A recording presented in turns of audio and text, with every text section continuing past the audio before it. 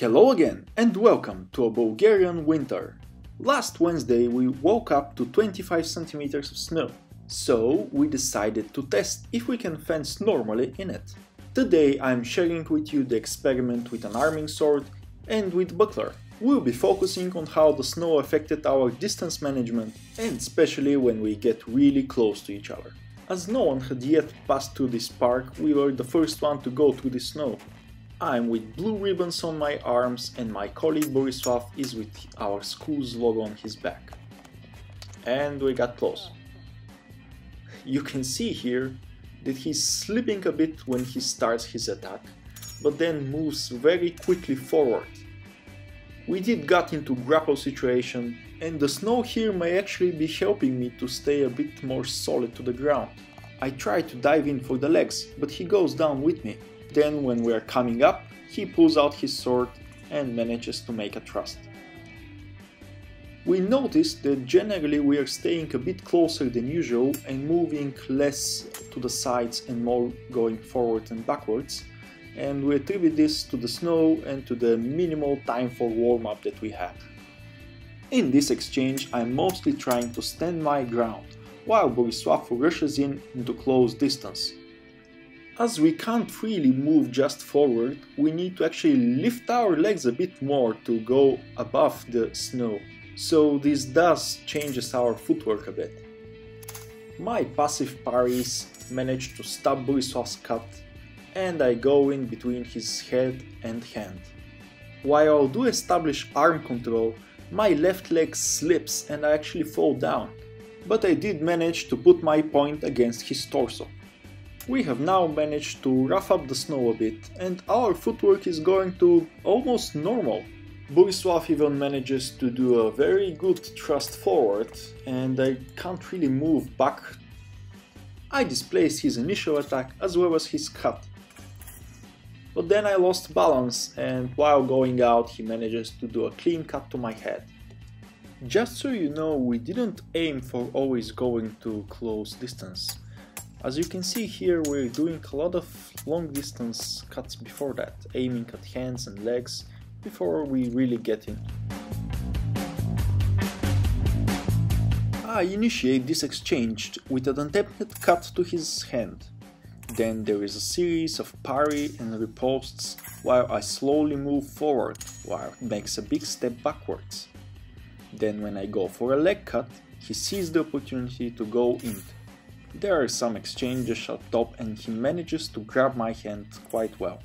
Borislav isn't able to make a cut to my head, so he draws his arm backwards attempting to make a thrust. I manage to grab his sword and he lets it go.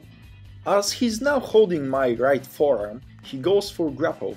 I am lower than him and go with my left hand to his right knee. As I am lifting him up, he can't balance on his other leg on the snow and when he's falling he releases my hand which allows me to drop over him and just to point out that he's around 20 kilos more than me. Here we got a bit stuck in the snow, you can see that we have almost no movement before Borislav's thrust inside. A thrust that actually missed we both make a mistake by closing in distance without properly establishing an opposition line. Now let's move forward and look at some sword and buckler. We are again using Albion's I-33 from the Maestro line. Borislav is with red dragon gloves and I am with sparring gloves. And I'll let you know in a couple of weeks why. The cold and the snow does have some other effects. This is why he actually dropped his sword.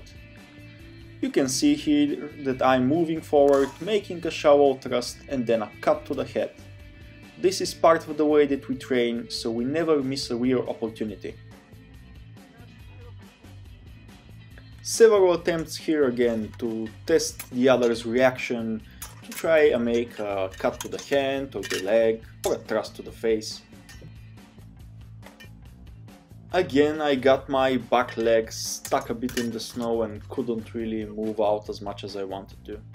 Borislav catches me off guard by attacking to my head from the right and then changing to my left side for an Unterhau. His hit though is a bit flat and he can't stop my sword with his buckler but enters into my face, so it's generally a double loss. Here I provoke him with a couple of moves to make him charge forward.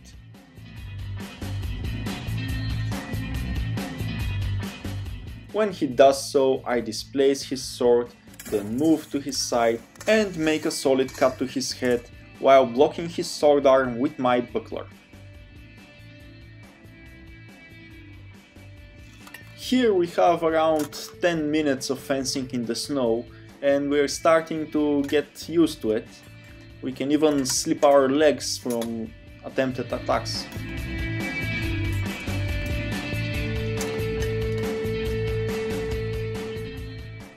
In this exchange we missed basically all the attempted attacks. No thrusts landed, no cuts landed, so we blocked everything with bucklers and arms. There might be some shallow cuts to our sides from the swords, but if we assume that we're with jackets from the 14th and 15th century, it won't really matter. One final exchange with sword and buckler at close distance. Here the snow is almost a non-issue. You can see that we are moving almost freely now. Borislav managed to trick me and go under my cut, so I missed him completely. And now you can see what happens when you drop your sword in 25 centimeters of snow.